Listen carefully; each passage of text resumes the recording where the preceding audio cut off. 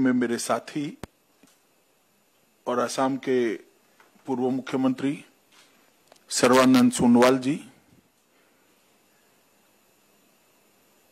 जिनको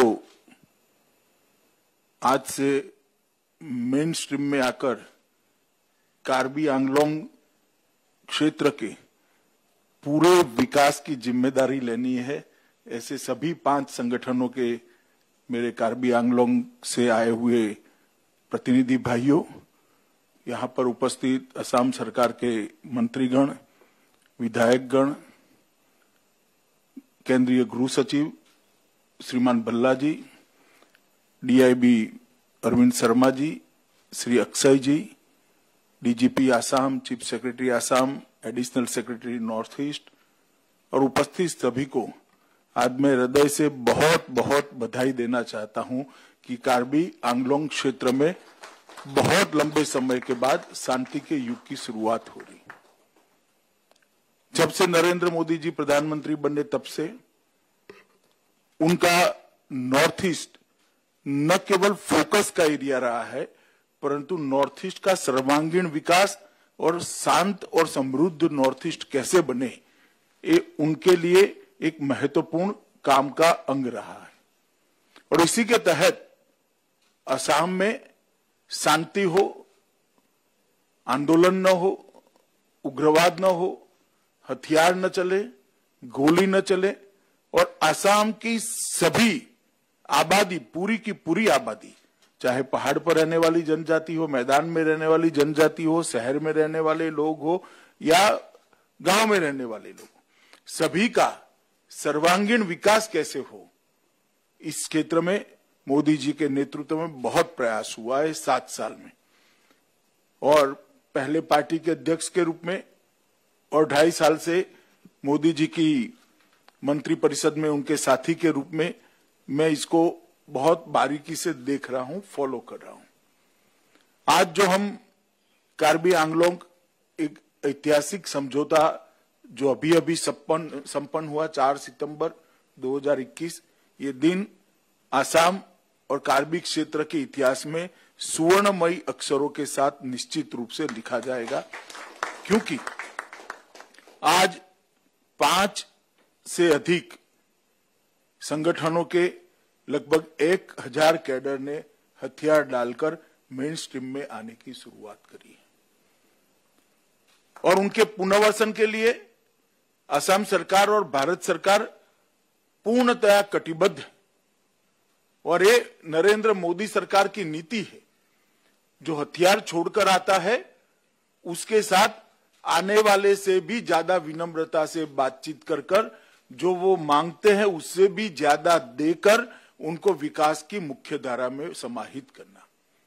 और यही नीति का परिणाम है कि एक के बाद एक के बाद एक सभी जो पुरानी समस्याएँ नरेंद्र मोदी सरकार को वारिस वारसा में मिली थी, उसको हम समाप्त करते जा रहे हैं।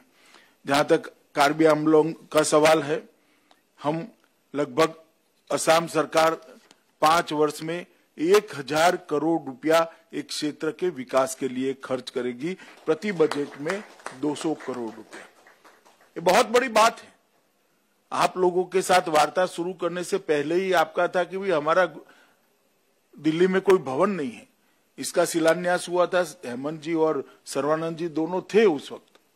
तब मैंने कहा था कि आप एक बार वार्ता को पटरी पर चढ़ाइए, ये हमने एक हमारी ओर से शुरुआत करी।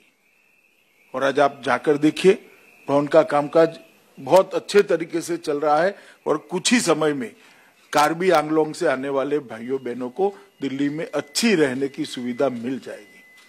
और आज जब एग्रीमेंट हो रहा है तब मैं इतना ज़रूर कहता हूँ कि नरेंद्र मोदी सरकार की नीति है कि जो एग्रीमेंट को हम करते हैं, वो एग्रीमेंट की सभी शर्तों का पालन हमारे ही समय में हम पूरा करते हैं, ये हमारा रेकॉर्ड चाहे बोडोलैंड का एग्रीमेंट हो, चाहे भ्रू समझौता किया हो, चाहे त्रिपुरा के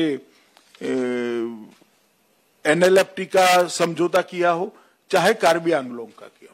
मैं आप लोगों को विश्वास दिलाना चाहता हूँ कि आगे के तीन समझौते जो हमने करे हैं, इसके 80 प्रतिशत से ज़्यादा शर्तें पूरी हो चुकी है और बोडोलैंड में तो लगभग लगभग सब पूरा हो चुका है। भू समझौतों में भी परसों ही मैंने रिव्यू किया था, लगभग 1200 लोगों का रहने का पूरा व्यवस्था बन चुका है, उनको ज़मीन आवंटित कर दी गई है, उनको कार्ड दे दी गई खाने पीने की व्यवस्था कर दी है, अच्छे स्कूल बनाए जा रहे हैं। और 2022 आते आते ये पूरे भ्रू शरणार्थियों का हम फिर से एक बार रहने की व्यवस्था कर देंगे। इसी तरह एनएलएफटी समझौते में भी 100 करोड़ रुपया देना था, उसमें से 40-40 की दो किस्तें हमने दे दी हैं। और लगभग लगभग जिस अट्ठासी कैडर ने हथियार डाला था, उन सबको रिहेबिलिटेशन के लिए भी हमने पूरा, हमारा वादा था, वो पूरा किया है।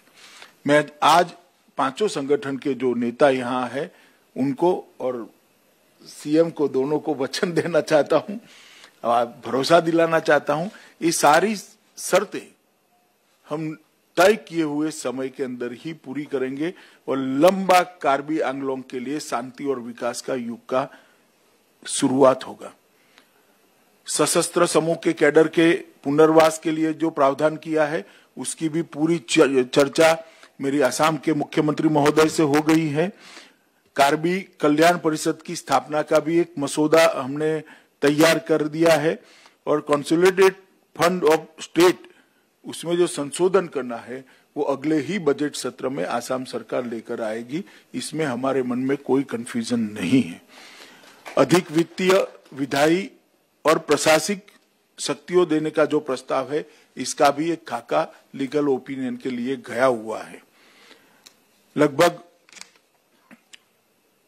people's democratic council of Karbi Karbi Longri north Cachar hills liberation front Karbi people's liberation tigers Kuki liberation front और यूनाइटेड पीपल्स लिबरेशन आर्मी ये पाँचों संगठन के सभी कैडर को मेन स्ट्रीम में सम्मान के साथ बसाने की भी योजना तैयार है।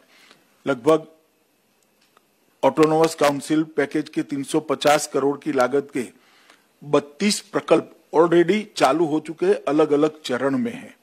और कार्बी दिमासा भवन, जैसे मैंने कहा था, उसका भी काम पूरजोश में चल रहा है। और 22 करोड़ के इंफ्रास्ट्रक्चर के प्रोजेक्ट भी आपके क्षेत्र में हमने समझौता होने के पहले ही चालू कर दिए हैं, जो समझौते के मतलब बारिश समाप्त होते ही लगभग लगभग पूरे हो गए। और सेंट्रल पूल की एनएलसीपीआर स्कीम के तहत 200 करोड़ के और 20 प्रोजेक्ट 10-10 करोड़ की एवरेज का, वो भी आज पैसा उसका आवंटित कर दिया गया दीपू में असम पहाड़ी मेडिकल कॉलेज और रिसर्च सेंटर का उद्घाटन किया गया है। इसका एकेडमिक पहला सत्र भी शुरू हो गया है। बागोरी प्रवेश स्थान पर पर्यटक लॉन्च के विकास के लिए भी काम लगभग लगभग पूरा हो चुका है। दीपू में कैंसर देखभाल केंद्र का निर्माण का काम चल रहा है। मैं आया था तभी इसका उद्घाटन किया था। और आने वाले दिनों में इस क्षेत्र के संपूर्ण विकास के लिए और मुख्यत्वे गाँवों के विकास के लिए सभी कदम उठाने के लिए राज्य सरकार और केंद्र सरकार दोनों कटिबद्ध है। असम के मुख्यमंत्री यहाँ बैठे हैं। प्रधानमंत्री की निश्रा में ये समझौता हो रहा है। मैं माननीय प्रधानमंत्री जी आसाम सरकार और भारत सरकार के गृह विभाग की ओर से आपको संपूर्ण रूप से भरोसा दिलाना चाहता हूँ कि आप जो भारत सरकार के साथ, असम सरकार के साथ समझौता किए हैं, ये इस क्षेत्र के शांति और विकास के लिए मुख्य कारण बनने वाला है और समझौते की सारी शर्तों का हम बहुत अच्छे तरीके से, समयबद्ध तरीके से पालन करेंगे। मैं फिर से एक बार समझौते के लिए बहुत समय से चर्चाएँ हो रही थी। असम सरकार के अधिकारी भी लगे थे, हेमंत जी भी लगे थे, सर्वानंद जी के समय में भी काफ़ी काम हुआ। हमारे आईबी की पूरी टीम डीआईबी के नेतृत्व में लगी थी और गृह मंत्रालय की टीम अरविंद सर अजय भल्ला जी के नेतृत्व में लगी थी। मैं सबको भारत सरकार की ओर से हृदय से धन्यवाद करता हूँ और ये पाँच संगठन के सभी प्रतिनिधियों का विशेष धन्यवाद कर कर मेरी बात को समाप्त करता हूँ। वंदे मातरम। न्यूज़ सिक्स ओडिया, सत्य, संकल्प और संघर्ष।